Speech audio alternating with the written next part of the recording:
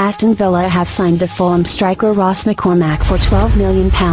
He has agreed a four-year deal and will link up with Roberto Di Matteo's squad before the Sheffield Wednesday game away on Sunday. The fee is the second highest transfer in the club's history, with Darren Bent being Villa's record signing at £24 million in 2011. Di Matteo told the Aston Villa website, I'm delighted to bring Ross on board.